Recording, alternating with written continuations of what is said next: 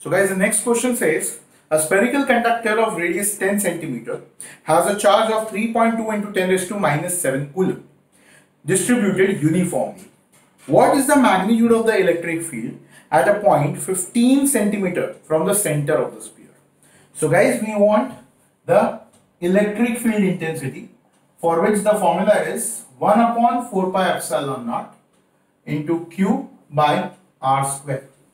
Well, please remember the r is the distance of the point from the center of the sphere where we want to find the electric field which means r over here is not 10 centimeter it is 15 centimeter. Okay? So in this scenario we can write 1 upon 4 pi epsilon naught as 10 into 10 9 into 10 is to 9 as the standard value.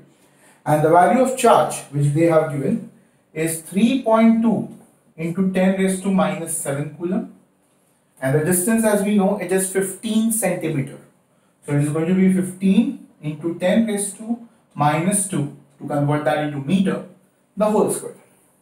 So simply we need to rearrange this as 9 into 3.2 upon the square of 15 is 225 into this becomes 9 into 10 raised to 9 minus 7 this will become 10 raised to minus 4 which goes in the numerator becomes plus 4.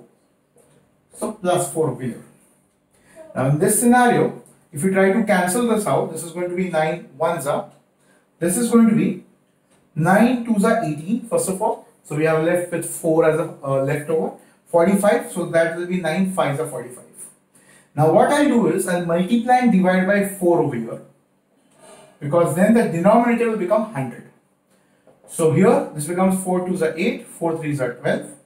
So 12.8 upon 100 into this power of 10 becomes 9 minus 7 2, 2 plus 4 6.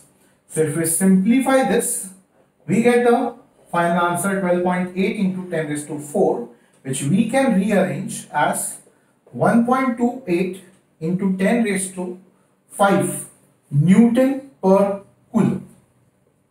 as per the given option. So this will be our final answer. So please copy.